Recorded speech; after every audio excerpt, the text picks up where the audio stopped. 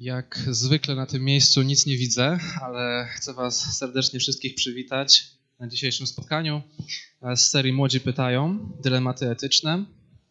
Myślę, że po tym, co już y, na zapowiedziach słyszeliśmy, mogę wprost powiedzieć, że tematem dzisiejszego naszego spotkania będzie wojna, stosunek chrześcijanina do wojny, jak się powinien zachować, jak się powinien odnieść do wszelkiego rodzaju tematów czy to poboru, czy brania czynnego, a może nie tylko czynnego udziału w wojnie. E, na pytania, które będę chciał dzisiaj postawić moim rozmówcom, których, jak już zaznaczałem, wyjątkowo dzisiaj mamy dwóch, e, będą odpowiadać dwaj zaproszeni na dzisiaj goście. Pastor Mirosław Harasim, teolog chrześcijański i dyrektor wydawnictwa Znaki Czasu oraz pastor Andrzej Siciński, doradca prawny Kościoła Adwentystów Dnia Siódmego i dyrektor Sekretariatu Spraw Publicznych i Wolności Religijnej Kościoła Adwentystów Dnia Siódmego. Zapraszamy ich na naszą białą sofę.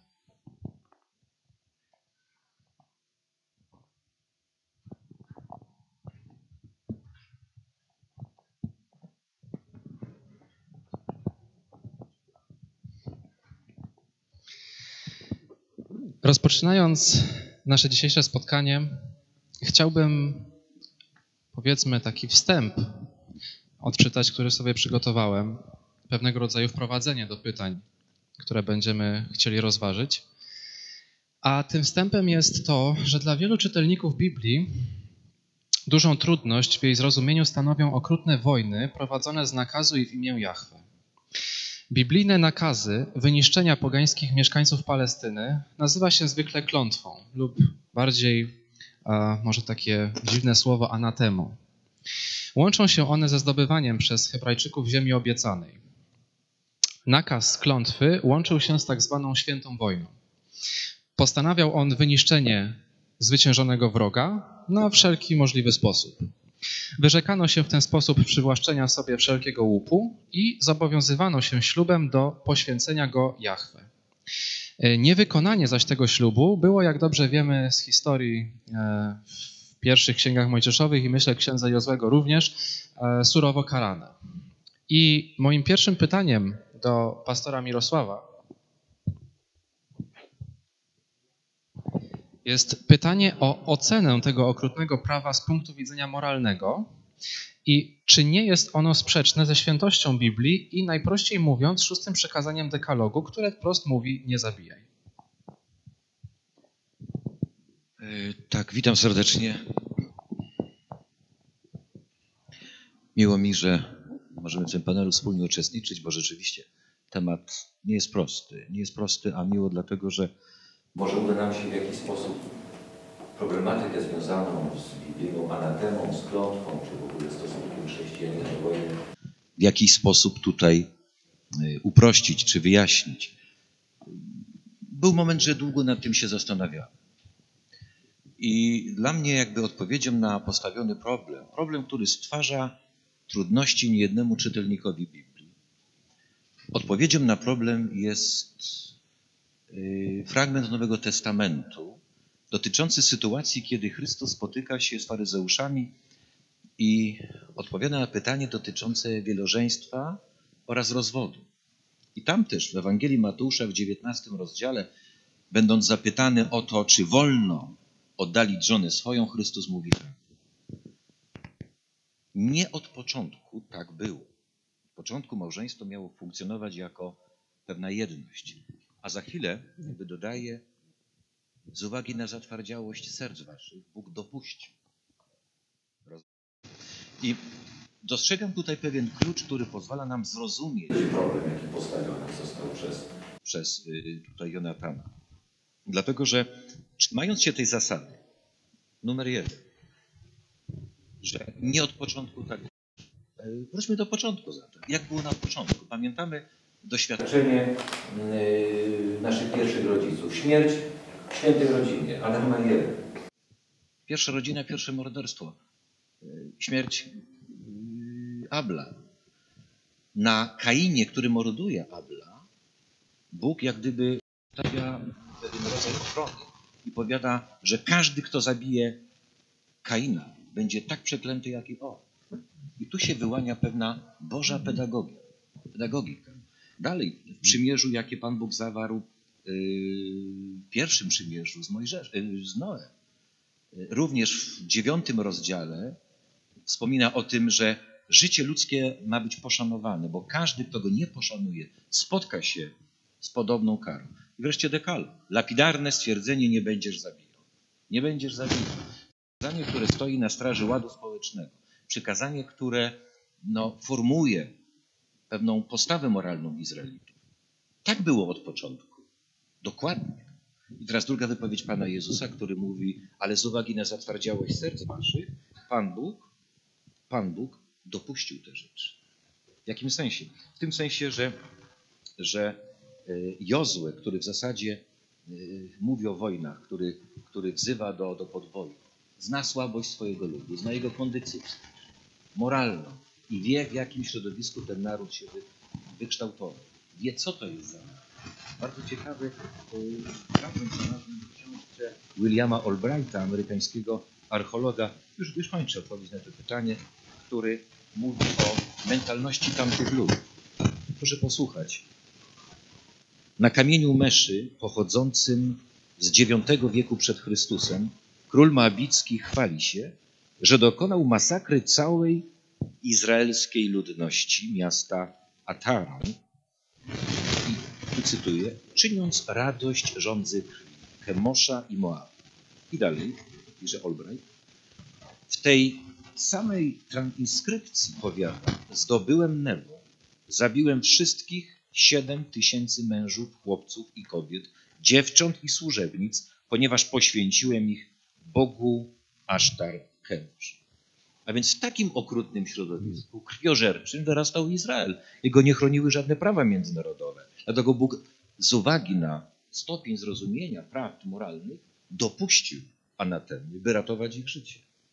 Ja, mm, mogę jeszcze coś dodać w tej kwestii.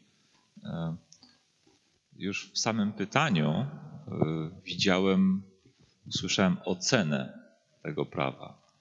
Jak można było dopuścić do tak okrutnego prawa.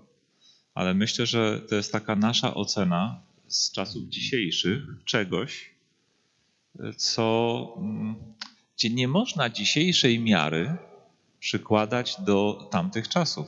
Klimat tych czasów oddał ostatni cytat.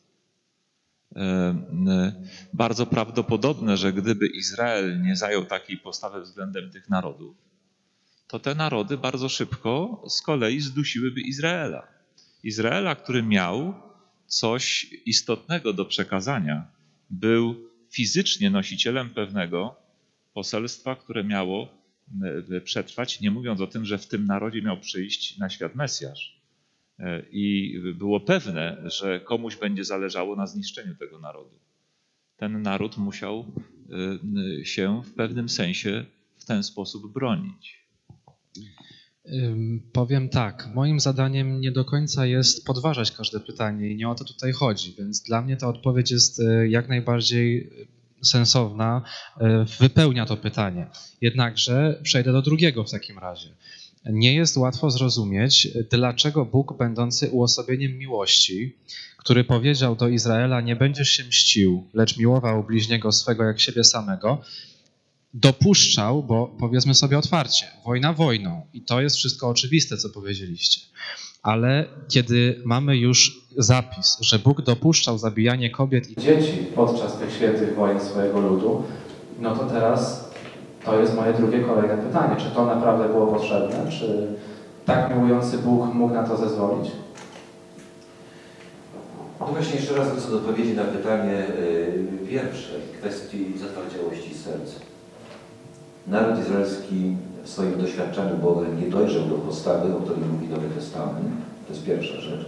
I Pan Bóg w swojej pedagogice, bardzo specyficznej pedagogice, postępuje jak, jak mądry pedagog, który stara się jakby nadążać za możliwościami swojego ucznia. Dopasowuje się do tych możliwości. To jest to progresywne prowadzenie Izraela.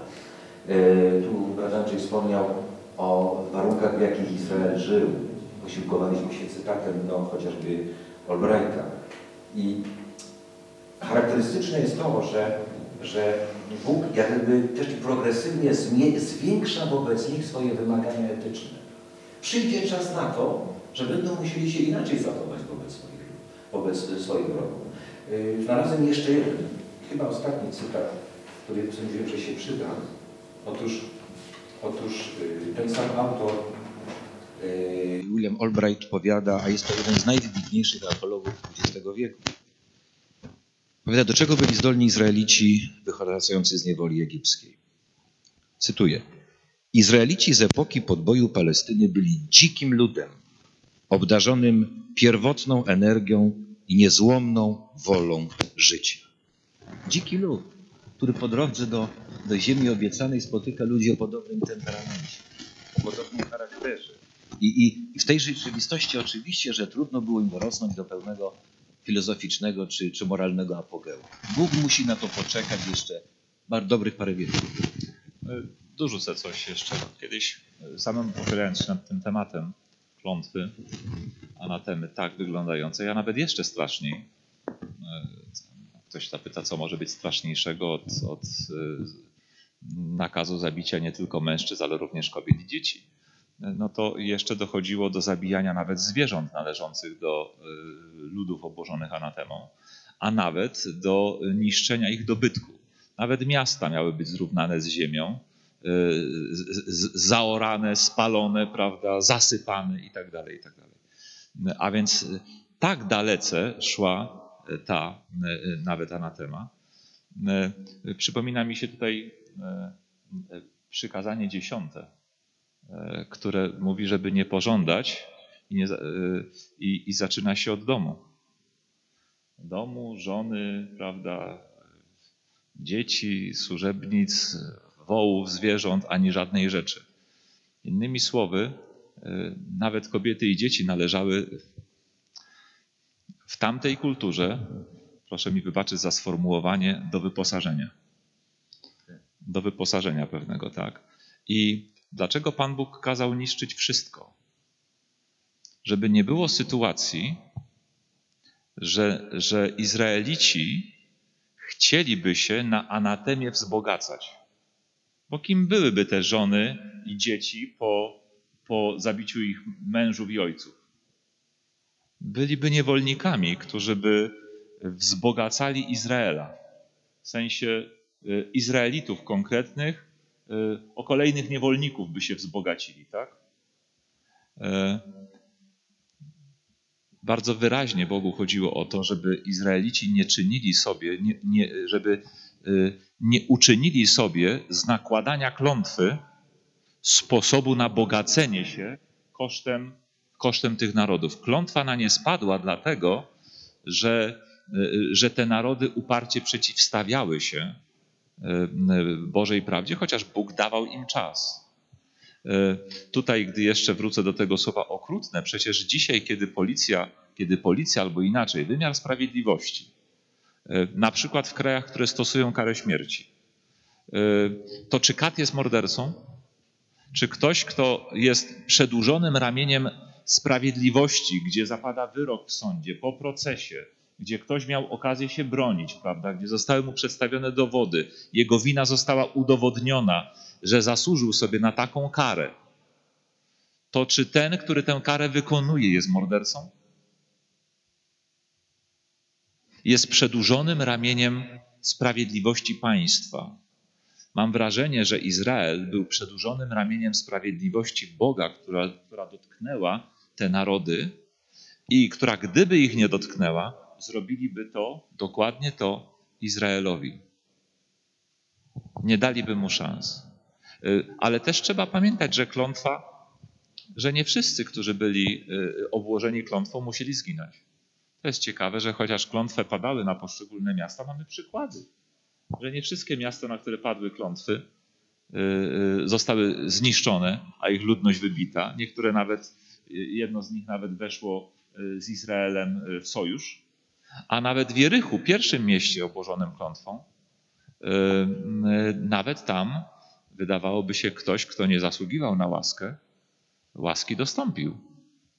Miejscowa prostytutka. Jej cała rodzina. Tak?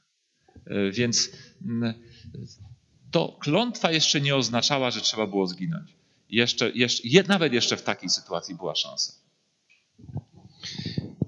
Andrzeju, skoro już jesteś przy mikrofonie, że tak powiem, to I nikt mnie tu nie przegoni. kolejne pytanie będzie do ciebie, e, ponieważ nie ukrywam, że e, zarys wstępny naszego wywiadu był taki, że e, podział jest mniej więcej Stary i Nowy Testament między wami, więc moje kolejne pytanie już skierowane do ciebie jest czy Chrystusowe polecenie miłowania nieprzyjaciół i nastawiania drugiego policzka, które czytamy właśnie w Nowym Testamencie, nie powinno rozstrzygać definitywnie kwestii stosunku chrześcijaństwa do przemocy, wojny i właśnie służby wojskowej? No, tak się może wydawać. Tak się może wydawać, chociaż mam wrażenie, że samo nadstaw drugi policzek jeszcze tego nie wyjaśnia. Inne chyba sformułowania próbują to definitywnie, znaczy mam wrażenie, że mogą to definitywnie wyjaśnić, nowotestamentowe. E, ale akurat to, co wydaje się takim sformułowaniem, prawda, o nadstawieniu drugiego policzka, e, moim zdaniem jeszcze tego definitywnie nie rozstrzyga. Otóż e, przyjrzyjmy się bliżej temu, tej, temu poleceniu nadstawiania drugiego policzka. Ja zacytuję fragment z Ewangelii Mateusza, skazania na górze z piątego rozdziału. Słyszeliście, że wam powiedziano oko za oko, ząb za ząb, a ja wam powiadam, nie sprzeciwiajcie się złemu.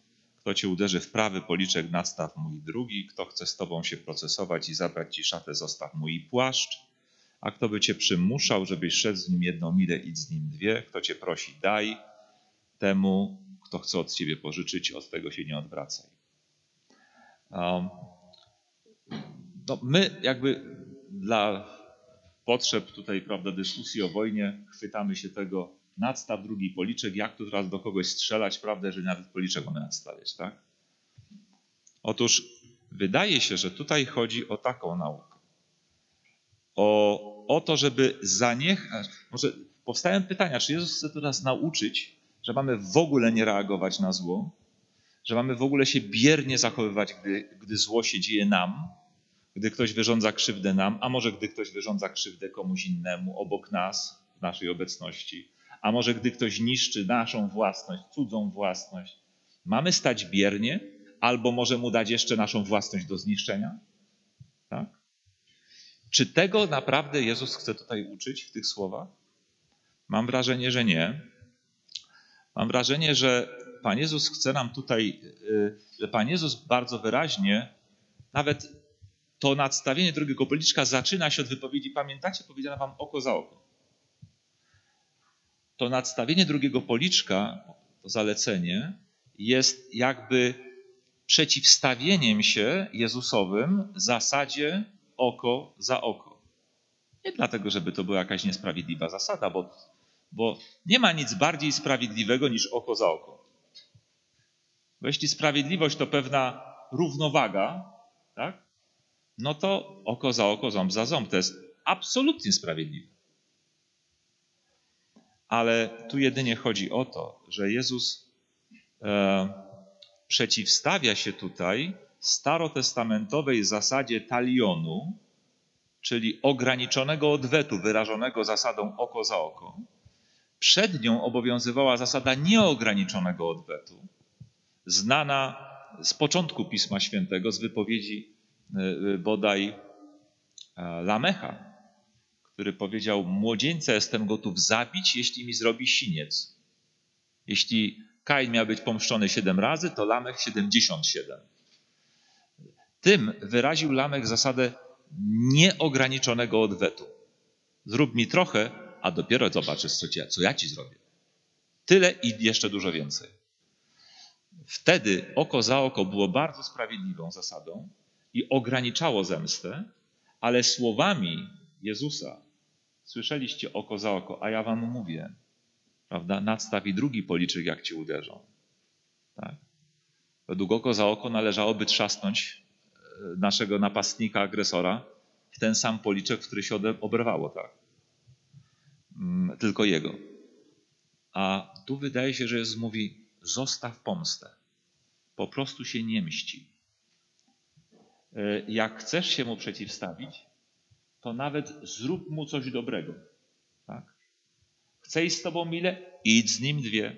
tak na marginesie to iść mile, prawda, czy iść, czy iść dwie, to, to nawiązywało do tego, że często rzymskie wojska okupacyjne zmuszały Żydów do pewnych usług dla wojska darmowych, tak? do pewnych robót na rzecz wojska. To w Żydach wywołało pewien opór, a Jezus mówi, chcą, żebyś szedł mile, idź dwie. Tak? Czyli zrób temu, który na ciebie nastaje, coś uprzejmego, coś dobrego. Jako ta Jezusowa rada. Taka sama znajduje się, bardzo podobna, u apostoła Pawła w liście do Rzymian, co wydaje się apostoła Pawła, jak to nazwać, komentarzem do Chrystusowego nadstawiania drugiego policzka. Posłuchajcie z 12 rozdziału listu do Rzymian. Najmilsi nie mścijcie się sami, ale pozostawcie pomstę gniewowi Bożemu. To jest to odnośnie oko za oko. Nie mścijcie się. Nawet tego nie róbcie. Albowiem, jak napisano, pomsta do mnie należy, ja odpłacę, mówi Pan. Jeśli wtedy pragnie twój nieprzyjaciel, nakarm go, jeśli łaknie, napój go, gdyż to czyniąc, rozżarzone węgle zgarniesz na jego głowę. Nie daj się zwyciężyć zło, ale zło dobrem zwyciężaj. To są, to jest komentarz idealny do tego, chce suknię, daj mu dwie. Chce iść mile, pójdź z nim, pójdź z nim dwie. Tak? Chce tyle, daj mu tyle i jeszcze więcej. Ale się nie mści, nie oddawaj okiem za oko, bo to należy do mnie to wydaje się do tego należy odnosić, a nie tak dosłownie nadstawiać drugi policzek. Pamiętacie, jak Chrystus był uderzony w policzek podczas procesu? Nadstawił drugi? Nie, nie nadstawił. Wręcz przeciwnie, oparł się, sprzeciwił się. Oczywiście nie fizycznie, ale powiedział: Czemu mnie bijesz? A jakim prawem? Zaprotestował. Zaprotestował. Tak? To jest ewidentny opór, słowny, tak? To nie jest bierność, to nie jest poddawanie się. Tak? E, więc nie należy tych słów, wydaje się, brać dosłownie. Bo jeśli dosłownie, to trochę wyżej czy niżej Jezus powiedział, jak cię gorszy twoje oko, to je wyłup. Jak cię gorszy twoja ręka, to ją odetnij. To nie o to tutaj chodzi. Zatem kontynuując i pozostając w ramach Nowego Testamentu, chciałbym zapytać, jaki ogólnie był stosunek Jezusa do, może nie tylko Jezusa, ale i również i uczniów apostołów późniejszych, do żołnierzy, a co za tym idzie do wojska i służby wojskowej, mówiąc wprost. Za wiele takich miejsc w Nowym Testamencie nie ma, ale można je spróbować wyliczyć. Mamy sytuację już chyba pierwsza, kiedy do Jana Chrzciciela na pustynię przyszli żołnierze, prawda? I a co my mamy teraz robić, tak? E, słysząc te wezwania do nawrócenia. I ciekawe, że Jan Chrzciciel nie mówi porzućcie żołnierkę, wróćcie do domów, zerwijcie kontrakty, prawda, jak, na jakich tam byliście w tym wojsku, e, pewne zobowiązania względem własnego państwa i tak dalej, e, bo to się teraz nie godzi, tak, nawróconemu człowiekowi. Nie, ja takiego czegoś nie dostrzegam. Dostrzegam natomiast wezwanie do tego, żeby, nikim, żeby nikogo do niczego nie zmuszali, nie wymuszali na ludziach, prawda, żeby poprzestawali na swoim żołdzie. Widocznie było praktyką wielu żołnierzy, że niezależnie od żołdu, po prostu jeszcze korzystając z przewagi liczebnej, wojskowej, wyszkolenia, prawda, uprawiali jakiś rodzaj bandyterki, prawda, i na tym się, i na tym się wzbogacali. Temu się sprzeciwiał e, e, Jan Chrzciciel. Potem e, widzimy też Jezusa, który uzdrawia sługę setnika. Setnika e, rzymskiej armii, czyli okupacyjnej. Jeśli chcemy sobie wyobrazić, co zrobił Jezus, to wyobraźmy sobie, że, że Jezus pojawił się w Polsce w latach 40., w Polsce pod okupacją i przyszedł do niego SS-man, prawda, jakiś stacjonujący, albo zwykły nawet jakiś kapitan Wehrmachtu i powiedział, że jeden z jego żołnierzy podkomendnych, prawda, cierpi i czy nie mógłby go uzdrowić. No nie wiem, czy sobie Pan Jezus tym uzdrowieniem nie nagrabił UAK. Czy by go nie wzięli za kolaboranta? A jednak Pan Jezus nie dość, że uzdrowił tego sługę owego, owego oficera, to jeszcze pochwalił wobec Żydów wiarę tego oficera. Czyli tu widzimy, że, że ci od Jana Chrzciciela i ci tutaj i ten tutaj od Jezusa to byli nawet ludzie wierzący. Prawda? E, o, o jakiejś głębokiej duchowości. Potem mamy z kolei pojmanie Jezusa. E, e, pojmanie, gdzie, gdzie tam Pan Jezus z kolei mówi do Piotra, który chciał się przeciwstawić temu mieczem, włóż miecz do pochwy, bo kto mieczem wojuje, ten od miecza ginie. Tu może nie, jest, nie ma wiele mowy o żołnierzach, co o, o, o tym, czego Jezus zaleca, co Jezus zaleca swoim naśladowcom, żeby no tym mieczem jednak nie wojować, tak? Ale potem ci żołnierze z kolei pastwią się nad Jezusem, szydzą tam, prawda, biją go, yy, yy, ostatecznie krzyżują. Ale nawet wtedy Jezus mówi, modli się do Boga, odpuść im, bo nie wiedzą, co czynią. Czyli i ciekawe, że kiedy umiera i ma miejsce trzęsienie ziemi, jeden z nich, ich dowódca, mówi, przychodzi na niego taka chwila refleksji. Prawda? Przyglądał się przed chwilą temu, co robili jego podkomendni. Ale przychodzi chwila refleksji. On był naprawdę synem Bożym. Jedna z Ewangelii mówi i oddał chwałę Bogu. Tak? Potem inni żołnierze z kolei pilnują jego, jego grobu. A po, po zmartwychwstaniu y, no, dają się przekupić i oszukują, twierdząc, że to było wykradzenie zwłok. Potem jeszcze inni żołnierze, y, jeszcze inny żołnierz y, daje się ochrzcić. Korneliusz, setnik kohorty, mówi Nowy Testament, ale raczej chyba chodziło raczej o rotę, mniejszy oddział wojska. Daje się ochrzcić on i cały jego dom, cała jego rodzina. E, apostołowi, e, apostołowi Piotrowi. E, I czyli mamy tak na przemian do czynienia z takimi żołnierzami złymi i żołnierzami, w których jest jakaś duchowość. U tego Korneliusza też. A innym razem inny setnik, gdy Żydzi aresztowali Jezusa i go tam, prawda, nie Jezusa, apostoła Pawła w Jerozolimie i go zaczęli bić, przerwał im to bicie, bo tam się jakieś rozruchy zaczęły. E, zaaresztował Pawła, e, nawet w pewnym momencie pozwolił mu przemówić, ale potem go jednak e, kazał zamknąć i jeszcze go ubiczować. Ale jak usłyszał, że jest obywatelem rzymskim, to się trochę tego przestraszył, prawda? Mm, potem odprowadził go do swoich zwierzchników. A jeszcze inny setnik, chociaż może ten sam, nie pamiętam dokładnie, kiedy z kolei apostoł Paweł był odwożony, statkiem odpływał z Rzymianami do Rzymu na proces i, i, i w pewnym momencie był sztorm i żołnierze chcieli zabić więźniów, żeby nie wykorzystali sztormu do ucieczki, to ten z kolei się przeciwstawił temu, bo zależało mu, żeby Paweł nie zginął.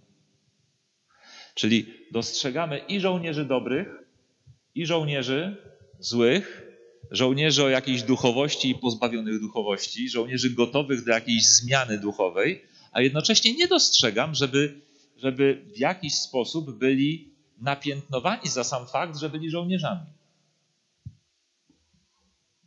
Ktoś może powiedzieć, no może to były inne czasy, prawda? Może gdyby absolutnie zostali chrześcijanami, może przestaliby czynić żołnierkę. Ale nie wiem, czy tak się stało na przykład z samym Korneliuszem. Nic na ten temat Słowo Boże nam nie mówi. Czy możemy powiedzieć, że Nowy Testament zachowuje postawę neutralną w, jakimś, w jakiejś mierze wobec wobec służby wojskowej, a jeśli już, to nakreśla ramy yy, jakby, jakby odpowiedzialności żołnierskiej wobec bliźniego. Przykład z Janem Chrzcicielem. Yy, chyba możemy mówić o tej neutralności, no bo nigdzie nie czytam, że nie wolno być żołnierzem. Czytam, że nie wolno zabijać. Aczkolwiek i w tym względzie niektórzy, niektórzy teologowie mówią, że tak dokładnie to, to, to, to, to użyte słowo oznacza nie mordować i starają się dostrzegać tutaj y, pewne różnice pomiędzy y, y, morderstwem, prawda, czy jakimś celowym zabójstwem, a, a pozbawieniem kogoś życia. No i być może tutaj zaczyna się szukanie, może jakieś uzasadnione powody, prawda, i tak dalej, i tak dalej. Pastorze Mirosławie, więc moje kolejne pytanie e, wraca troszkę do tematyki Starego Testamentu.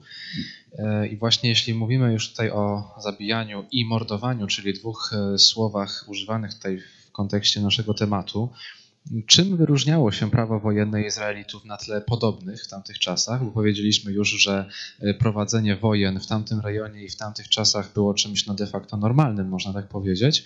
I czy w tym prawie wojennym Izraelitów e, można się dopatrzyć elementów humanitarnych, innych niż miały to ludy w tamtych czasach, mimo nawet bożych, e, jasnych zaleceń, jak postępować z ludami, które wypędzali przed sobą? Tak, jak już powiedzieliśmy, rzeczywiście w tamtym klimacie, w tamtym czasie prawo na temy, prawo zemsty było stosowane przez całe wieki. Natomiast, co trzeba wyraźnie podkreślić, w przypadku Izraela mamy tu do czynienia z przejściowym epizodem. Powtarzam, z przejściowym epizodem, to jest jedna kwestia. I prawo to z czasem ulegało jakby łagodzeniu.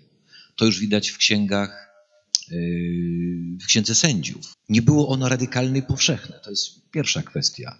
Dlatego, że w tej księdze spotykamy się z pojęciami mówiącymi, e, czy z informacjami o całych centrach kananejskich, które przetrwały, istniały. Dalej, y, piąta księga Mojżeszowa, ta sama, która mówi o klątwie, mówi również o pewnym postępowaniu Izraelitów wobec podbijanych narodów.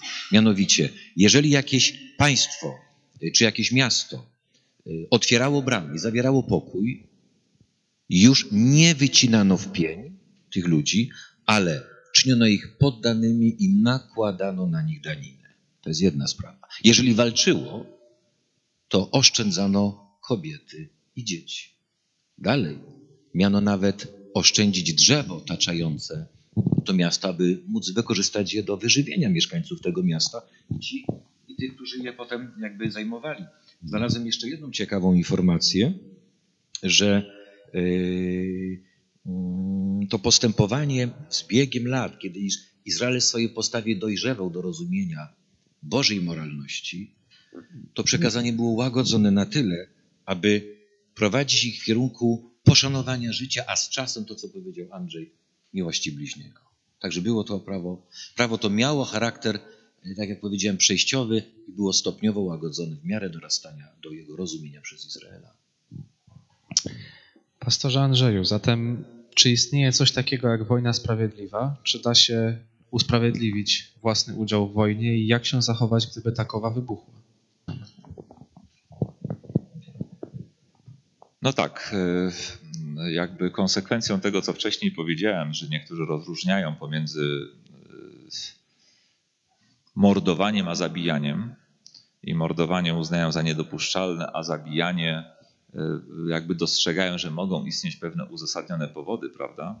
Jakby przenoszą to też na, na pojęcie wojny, która jest raczej takim e, no, zabijaniem, mordowaniem, ale na masową skalę, prawda, z dużymi zniszczeniami materiału, brzydko powiem, ludzkiego, prawda, i, i, i materialnego.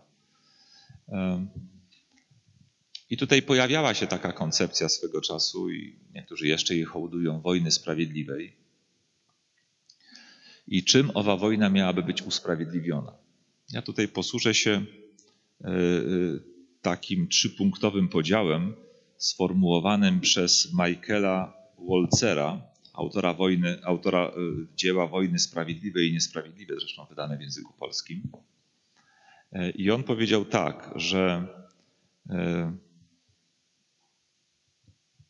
według niego istnieją trzy warunki pozwalające uznać wojnę za sprawiedliwą mianowicie sprawiedliwy powód, społeczne upoważnienie i środek ostateczny.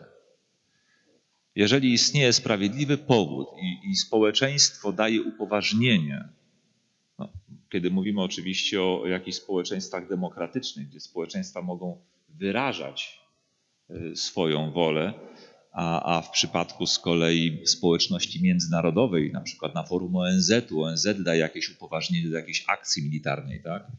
A więc kiedy jest jakiś sprawiedliwy powód, jest społeczne upoważnienie, a ponadto y, traktowana jest wojna jako środek ostateczny po wyczerpaniu wszelkich innych metod oddziaływania na, na, na, na, na potencjalnego agresora, prawda? Mm, na kogoś, czy, czyjej agresji się tam obawiamy, no to dopiero wtedy wojnę można uznać za, za coś sprawiedliwego. Wydaje się, że od czasów No, to tak ładnie brzmi w teorii. W teorii, w teorii może nawet byłbym się w stanie z takimi y, y, powodami zgodzić. Ale od czasów, kiedy istnieje broń nuklearna, nie wyobrażam sobie, że jedno z państw atomowych dochodzi do wniosku, że ma usprawiedliwione powody, by wszcząć wojnę z innym państwem atomowym, nawet jeżeli jego społeczeństwo daje mu na to przyzwolenie i nawet jeśli wyczerpał wszystkie inne dyplomatyczne y, możliwości rozwiązania sporu. Bo jeśli dojdzie do konfliktu nuklearnego, to nie da się go nazwać konfliktem sprawiedliwym. Bo y, w nuklearnej pożodze nie zginą ci, którzy parli do konfliktu. Ci się pochowają po schronach nuklearnych. Zginą niewinni ludzie, którzy nawet nie mieli żadnego wpływu na postawę własnego państwa. Tak? Czyli już istnienie arsenału nuklearnego niejako w pewnym sensie dyskwalifikuje pojęcie e, e, wojny sprawiedliwej. A sprawiedliwe powody, no zastanówmy się, jakie mogą być. No na przykład kurczą się nam zasoby tak? energetyczne. No to ktoś uzna, że jest sprawiedliwe, żeby napaść na jakieś państwo, które ma ich pod dostatkiem. Tak? Napadnijmy na Norwegię, jak nam się trochę prądu skończy. Jak nam się węgiel wyczerpie, napadnijmy na Norwegię, bo ona ma, ona ma sporo prądu. Tam mają fiordy, prawda, tam elektrownie. Napadnijmy na nią. To będzie sprawiedliwe?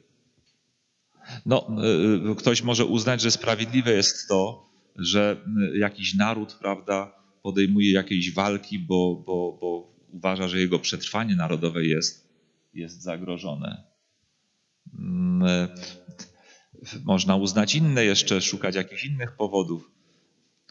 Tu nawet powiedziałbym bardzo takim trudnym do rozstrzygnięcia jest, gdy na przykład gdyby w państwie obok dochodziło do, do y, no, jakichś masowych zabójstw, czystych etnicznych, w państwie obok, to czy duża część naszego społeczeństwa nie czułaby presji, że powinniśmy zareagować? Swego czasu w Kambodży dochodziło do, do no, wyniszczania narodu przez warstwę rządzącą. Tam dochodziło do ludobójstwa w Kambodży. I w pewnym momencie do tego państwa weszły wojska wietnamskie i to był reżim Polpota. I no, po prostu przepędziły reżim czerwonych Khmerów Polpota, prawda? I, i, i, zapo, i jakby zapobiegły dalszemu masowemu przelewowi krwi.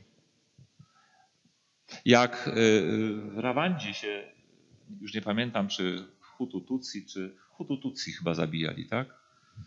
To społeczność międzynarodowa aż prosiła, żeby ktoś tam zainterweniował. Przykład byłej Jugosławii.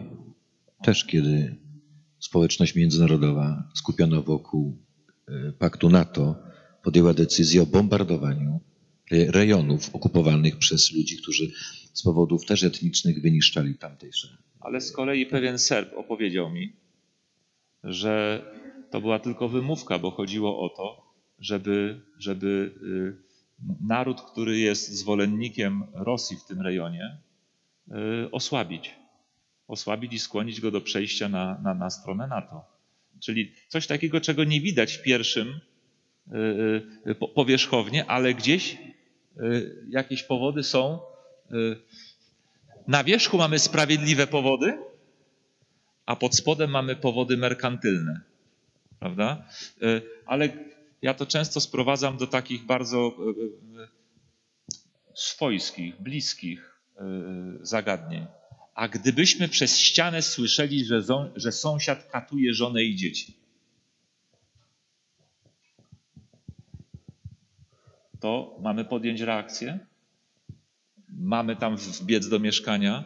Mamy go spacyfikować? Albo wezwać kogoś do jego spacyfikowania. A są państwa, które dokonują rzezi na swoim terenie pewnych mniejszości narodowych, etnicznych, tak? E, no i inne państwa okoliczne, no cóż, czy mają usprawiedliwiony powód? To są bardzo poważne problemy etyczne, e, które nawet budzą, one budzą moje wątpliwości. Ja nie wiem, jak bym się zachował. Ja mogę mówić, że nic nie usprawiedliwia e, interwencji zbrojnej, a z drugiej strony, czy będę siedział z założonymi rękami, gdy sąsiad przez ścianę będzie katował swoich, swoją rodzinę? Ale jest też inne spojrzenie. A czy czasem nasza interwencja, a co jeśli nasza interwencja bardziej zaszkodzi niż pomoże? Co jeśli pewnym rzeczom nie jesteśmy w stanie przeciwdziałać? Czy interwencje amerykańskie w Iraku nie były dyktowane y, przed całym światem y, próbą obalenia dyktatora, który tam zabijał, więził i tym podobne? Były. A ilu, a ilu Irakijczyków zginęło w tym wszystkim? Zdaje się, że ponad milion. Tak? A więc czasem nawet najlepsze powody mogą w efekcie doprowadzić do nieprzewidzianych początkowo skutków, niebranych pod uwagę, jeszcze gorszych niż powód, dla którego rozpoczęliśmy, czy też zgodziliśmy się na inwazję. A co do społecznego przyzwolenia, to w dzisiejszej dobie środków masowego przekazu ludźmi można tak manipulować, tak manipulować, że ja nie dałbym sobie, że tak powiem, e, z trudnością byłoby mi przy, uwierzyć politykowi, który by mi powiedział, że nasz naród powinien rozpocząć jakąś wojnę. Z trudnością, wiedząc, do jakich manipulacji w, tych, w takich sprawach dochodziło w przeszłości i jak się potem okazywało, z jakich prawdziwych powodów wojny były, były wszczynane. A co do ostatecznego środka, wojny jako środka ostatecznego, to też historia pokazuje, że najczęściej wojna nie była wcale ostatecznym środkiem, że po drodze było, było jeszcze wiele innych środków do wykorzystania, po które nie sięgnięto, ale wmówiono społeczeństwu, że sięgnięto. Więc w tym świetle wojna naprawdę traci na, swym, na swojej sprawiedliwości. Pytanie do pastora Mirosława przedostatnie. A, aby zamknąć już y, powiązanie między Starym i Nowym Testamentem, mam pytanie, czy pomiędzy tą nauką, można powiedzieć nauką moralną Starego i Nowego Testamentu, nie występuje konflikt, gdy chodzi o kwestię wojny bo mówiliśmy o mniej lub bardziej humanitarnym podejściu Izraelitów do wojny, nawet z rozkazu Boga. E, powiedzieliśmy też, że Jezus miał troszeczkę bardziej, myślę, mogę powiedzieć, uładzone stanowisko. E, nie był taki, jak już powiedzieliśmy, neutralny, tak jak cały Nowy Testament. Czy nie występuje konflikt między Starym i Nowym Testamentem, jeśli chodzi o kwestię wojny? Yy tak jak powiedziałem, musimy na te sprawy patrzeć y, jakby z dystansu i nie porównywać sytuacji Starego Testamentu z tym, z czym spotykamy się w Nowym Testamencie. Ostatecznym kryterium, ostatecznym autorytetem, który powinien rozstrzygnąć te kwestie, musi być wyłącznie Jezus Chrystus. Dlatego, że to On reprezentuje tutaj głos Boży na ziemi i On wyjaśnia właśnie w kazaniu na górze nasz stosunek do wojny, nasz stosunek do nieprzyjaciół. On znosi prawo odwetu. Słyszeliście o tym oko za oko, prawda? Czymś, co hamowało niekończącą się zemstę. I Chrystus wzywa nas do poszanowania życia ludzkiego. E, tak dalece, jak dalece to jest możliwe. I wręcz mówi o miłości, oczywiście miłości w pojęciu agape, miłości jako niekończącej się życzliwości, nie uczuciu, nie emocjom, Miłości nieprzyjaciół. Miłości nieprzyjaciół, tak. Wzywa do miłości do nieprzyjaciół. W tym znaczeniu patrzę na, na relacje między Starym a Nowym Testamentem w kwestii zrozumienia y, moralności, tej, o której mówimy, moralności, czy też inaczej, nie, kwestii zrozumienia naszego podejścia do wojny, do odpowiedzialności za życie drugiego człowieka. I dla mnie to jest właściwy klucz do zrozumienia tekstów, trudnych tekstów Starego Testamentu. Popatrzmy na to, co mówi Jezus Chrystus. Gdyby prawo anatemy było podtrzymane przez Chrystusa, tak, gdyby Chrystus nawoływał do zbrodni w dalszym ciągu, to tu możemy mówić o pewnym konflikcie. Tu możemy mówić o pewnej sprzeczności to możemy mówić y, o tym, że mamy do czynienia z wyraźną niespójnością między moralnością Starego a Nowego Testamentu.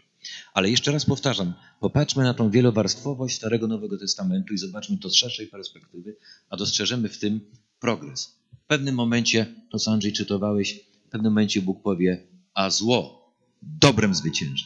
Kiedy Izrael dorósł do tego standardu, usłyszy słowa, zło dobrem zwycięży. Czas zemsty przeminął. I... Aczkolwiek, wejdę ci w słowo, ten, ten standard nie był nowym standardem. Standard, y, on już istniał. Od początku. Y, już w Starym Testamencie występował, tak? Y, tak samo oko i oko nie mija w Nowym Testamencie, tylko Bóg zastrzegł je dla siebie.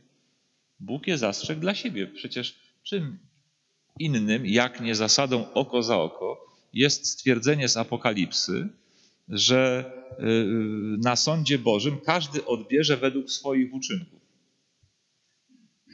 To jest to, to jest to nic innego, tylko oko za oko, ząb za ząb. Ile zrobiłeś, tyle dostaniesz. Co zrobiłeś, dostaniesz na co, żeś sobie zasłużył. Tak?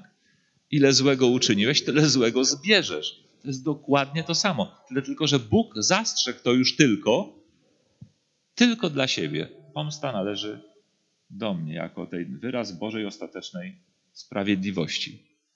I zawsze jest możliwość skorzystania z Bożego miłosierdzia.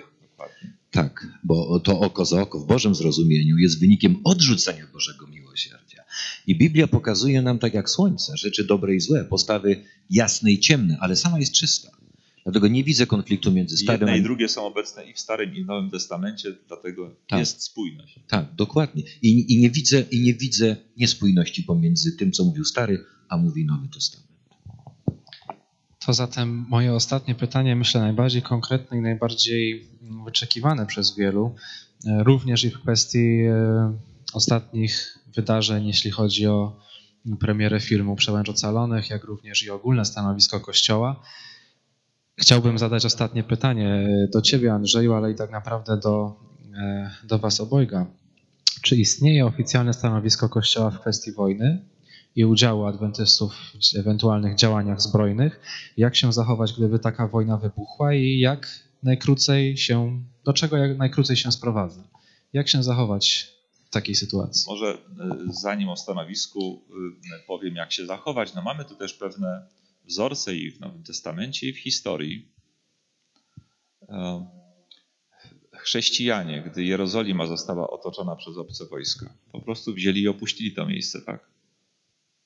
Tam było powiedziane, że jak zobaczysz tam tę ohydę spustoszenia w miejscu, w którym prorokował prorok Daniel, jeśli jesteś na polu, prawda, nie wracaj, idź tam, prawda, w góry, nie wracaj, uciekaj i tak dalej. No, wielu ludzi w konfliktach zbrojnych wybiera taką opcję. Po prostu opuszcza teren działań wojennych.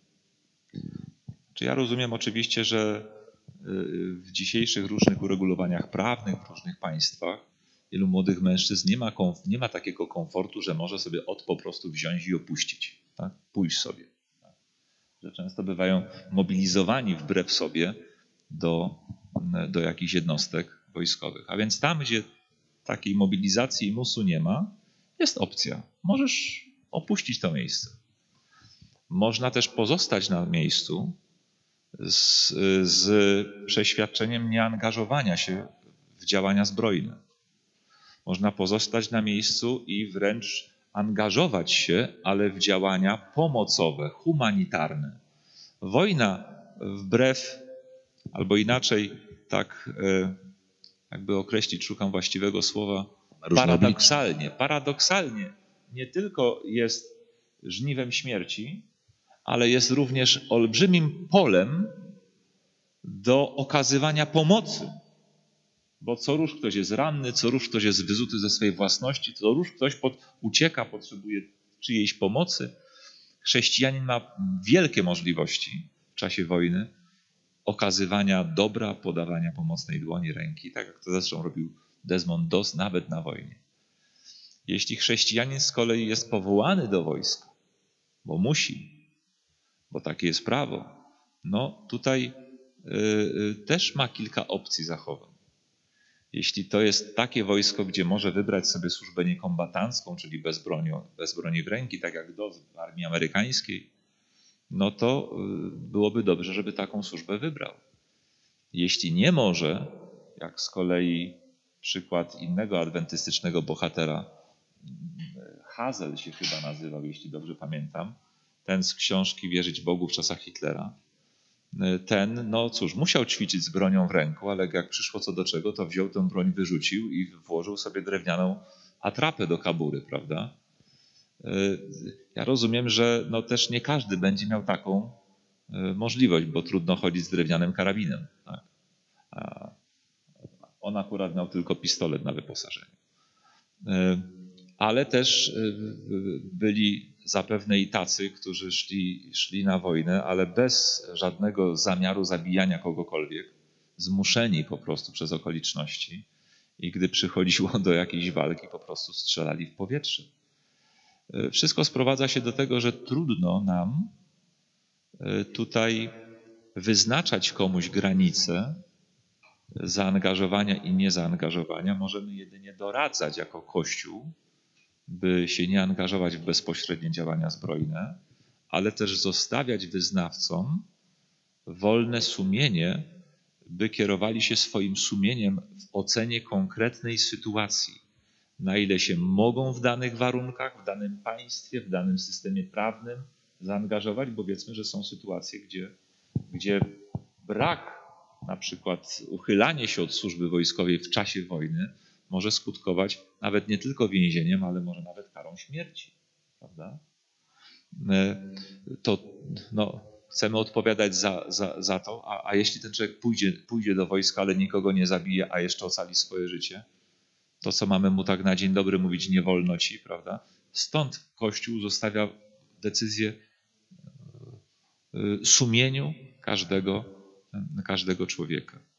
E, jako Kościół, jako chrześcijanie we wszelkich konfliktach winniśmy być raczej stroną, która wzywa do pojednania, wzywa do, do a, a nawet oferuje swoją mediację, na ile to jest możliwe. Oczywiście zwykły chrześcijanin, no trudno mu mediować między państwami, tak?